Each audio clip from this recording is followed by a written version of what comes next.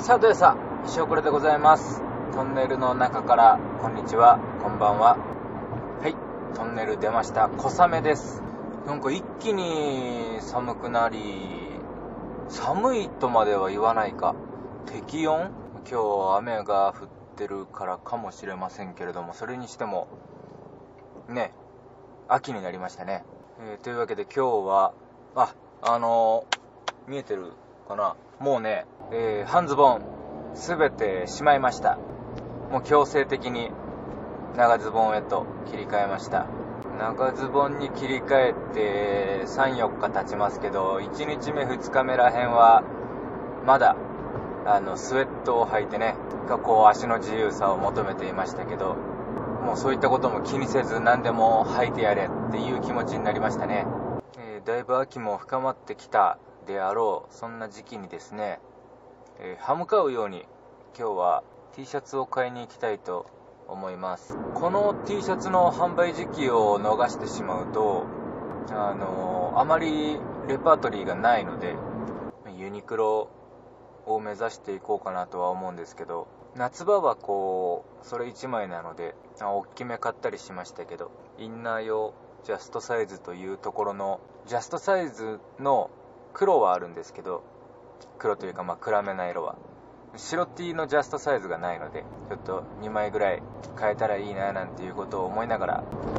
ユニクロの処分価格も大したことないですけど、それでもね、安いに越したことはないというところで、向かっております。なんか今、このユニクロに向かっている道がね、普段なかなか通らない大通りっちゃ大通りなんですよ。で普段は混むから、あのーこの道は通らないんですけど、数ヶ月ぶりぐらいに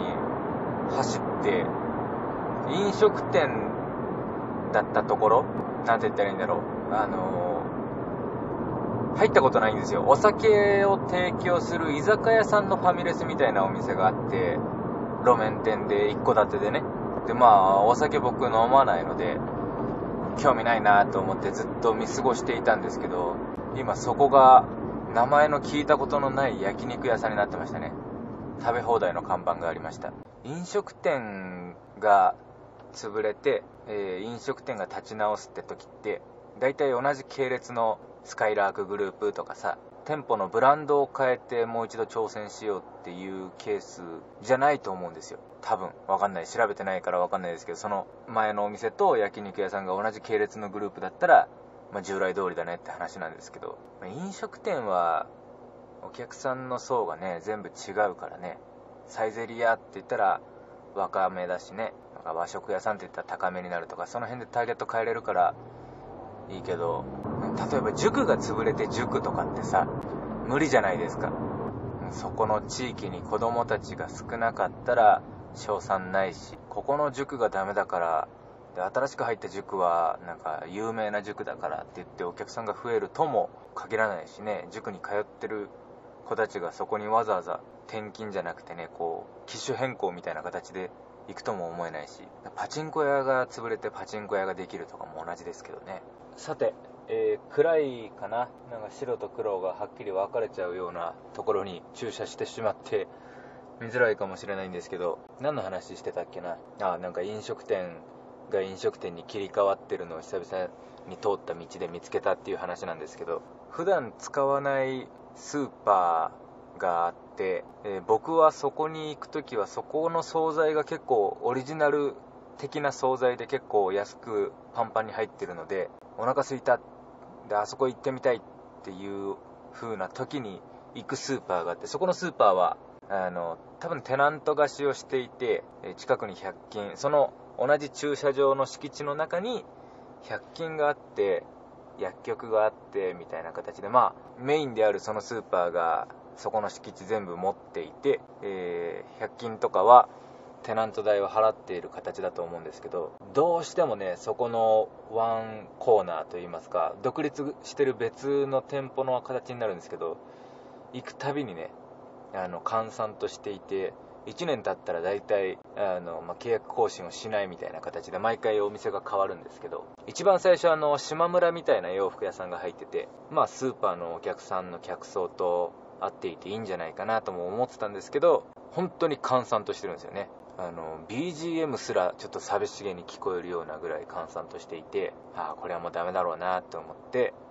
本当にダメになって、で、そこの敷地内に、あの、女性の、なんだっけ、カーブスでしたっけね。あの、女性のま、ご年配の方でも通えるフィットネスジム、あの外から一切中が見えないようになっている女性専門の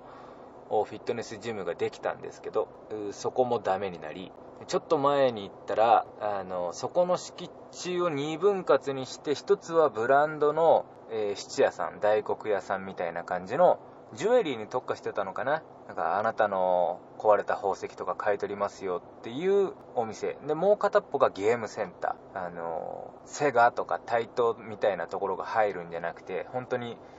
UFO キャッチャーのリースでやりましたみたいなね、本当に殺風景なゲームセンター。で、そのゲームセンターは今そこの敷地がなくなって、えー、ジュエリー買取ショップみたいなところだけになってるんですけど、え、そこももう時期に変わるでしょうと。なんでだろうね。やっぱり、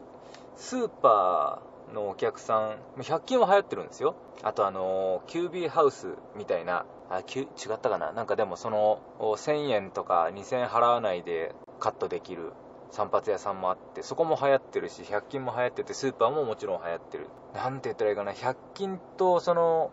美容室はすごいちっちゃなテナントなんですけど、まスーパーが一番でかくて2番目ぐらいに広いんですよそこ。だけどね何が入ってもね全然当たらないんですよね。僕がそこにあの意見箱っていうのがスーパーにあって本当はそこスーパーのご意見書かなきゃいけないんですよ。なんか店員さんの対応が良かったとかさ、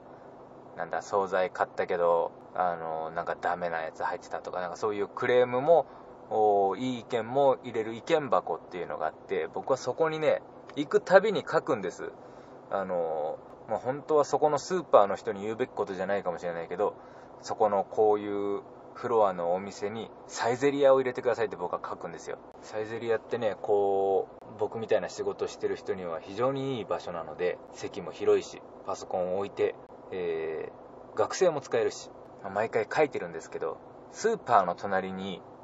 飲食店あるってちょっとこう客を取り合うじゃないけどそれが起きるから実現はしないんですけどちょっとそれを願いながらね、